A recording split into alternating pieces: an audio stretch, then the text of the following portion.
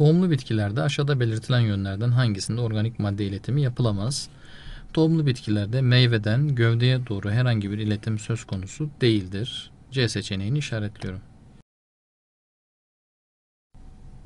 Aşağıdakilerden hangisi bütün tohumlu bitkilerin taşıma sistemleri için ortak değildir? Soymuk borusu hücreleri canlıdır. Evet ortaktır. Soymuk ve odun boruları arasında kambiyum vardır. Otsu gövdeye sahip tohumlu bitkilerde soymuk ve odun boruları arasında kambiyum bulunmaz. C seçeneği odun boruları hücreleri ölüdür. Evet ortaktır. D seçeneği odun boruları kılcal yapıdadır. Ortaktır. E seçeneği soymuk boruları çift yönlü madde taşır. Yapraktan köke, kökten yapraklara doğru madde taşıması gerçekleştirir. Hepsinde ortaktır. B seçeneğini işaretliyorum. Bir bitkinin topraktan su alabilmesi aşağıdakilerden hangisine bağlıdır? Bitkinin topraktan su alabilmesi kök hücrelerindeki çözülmüş madde miktarına yani ozmotik basınç miktarına bağlıdır diyoruz. C seçeneğini işaretliyoruz. Çok yıllık odunsu bir bitkide topraktan alınan elementlerin organik besinin yapısına katılıncaya kadar izlediği yolda aşağıdakilerden hangisi yer almaz? Soymuk borularında inorganik maddelerin yani elementlerin e, taşınması söz konusu değildir. Bu nedenle D seçeneğini işaretliyorum. Bitkilerde su ve mineral madde taşınmasında aşağıdaki faktörlerden hangisi etkili değildir? A seçeneği odun borularının kılcal yapıda olması e, su ve minerallerin kökten yapraklara doğru taşınmasında etkilidir. B seçeneği yaprakların terleme sayesinde ozmotik basıncının artması, yapraklardaki ozmotik basıncın artması kökten yapraklara doğru su ve mineral madde hareketini sağlayacaktır. C seçeneği su moleküllerinin kohezyon kuvveti sayesinde birbirini çekmesi. Bu sayede e, su ve içerisinde çözülmüş e, mineral maddeler kökten yapraklara doğru hareket edebilmektedir. D seçeneği kökteki emici tüylerdeki ozmotik basıncın yüksek olması topraktan köke su geçişini, su ve mineral geçişini bu sayede kökten de yapraklara doğru e, su ve mineralin hareketini sağlamaktadır. E seçeneği odun borularındaki hücrelerde ATP üretilememesi e, bunun herhangi bir etkisi yoktur. Çünkü enerji harcanmamaktadır. E seçeneğini işaretliyorum. Otsu bir bitkide verilenlerden hangilerinin alınması gerçekleştirilebilir? Kökten su ve mineral alınabilmektedir. Yapraktan karbondioksit alınabildiği gibi gövdeden de karbondioksit alınabilir otsu bitkilerde. E, bu nedenle E seçeneğini işaretliyorum. Aynı türden özdeş 3 bitki özdeş saksılarda büyümeye bırakılmıştır.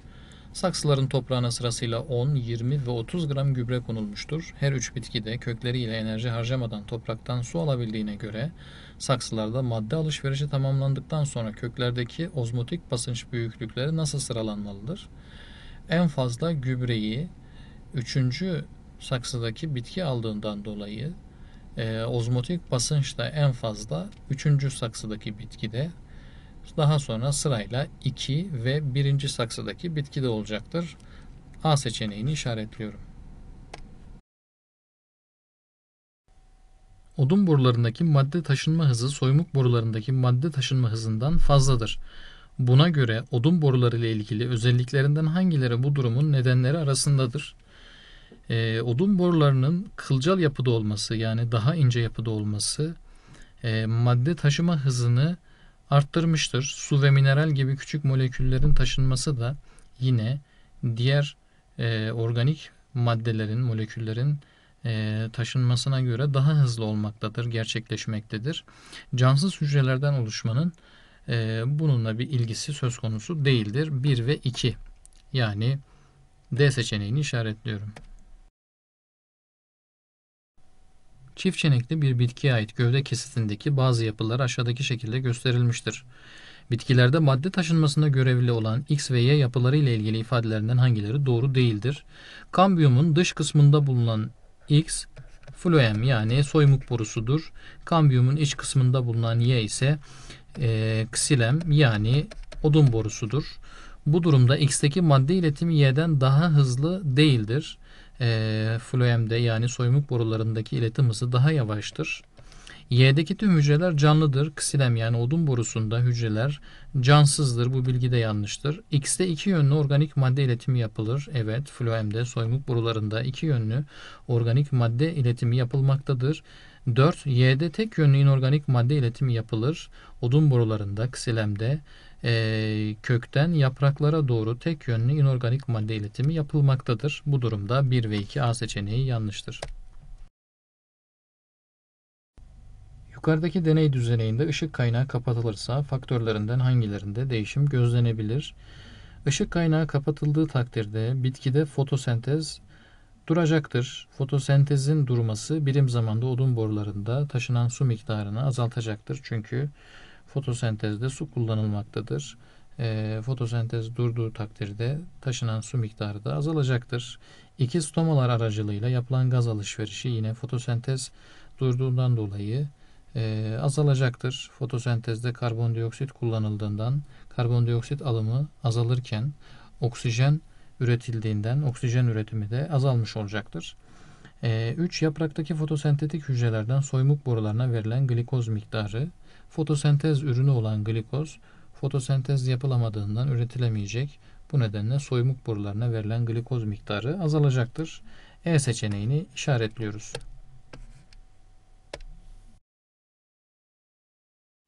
Bir araştırmacı aynı türe ait bitkileri kullanarak aşağıdaki deney düzeneklerini hazırlamıştır.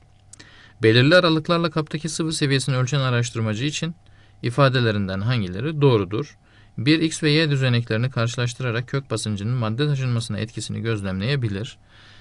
Kökteki ozmotik basınç artışına bağlı olarak topraktan köke su çeken ve suyun odun borularında yükselmesini sağlayan itici kuvvete kök basıncı diyoruz.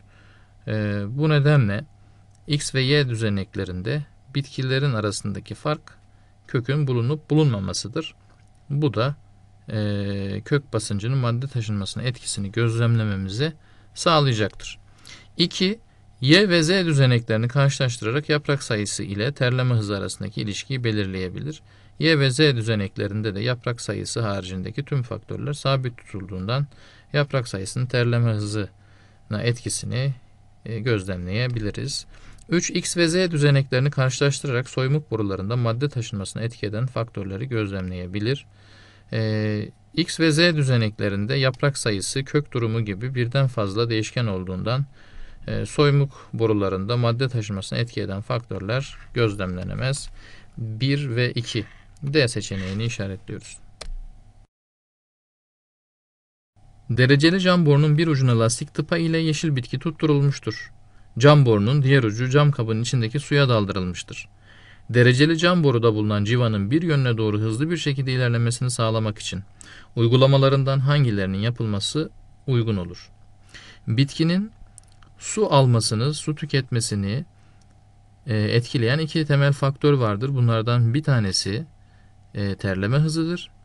İkincisi ise fotosentez hızıdır. Ortamın neminin arttırılması terleme hızını azaltacağından civanın bir yönüne doğru hızlı bir şekilde ilerlemesini engelleyecektir. 2. Ortam sıcaklığının optimum değere kadar arttırılması. Fotosentez hızı optimum sıcaklıkta maksimum seviyeye ulaşacaktır. Bu da daha hızlı su tüketmesine neden olacaktır. Civanın hızlı bir şekilde bir yönüne doğru hareket etmesini sağlayacaktır.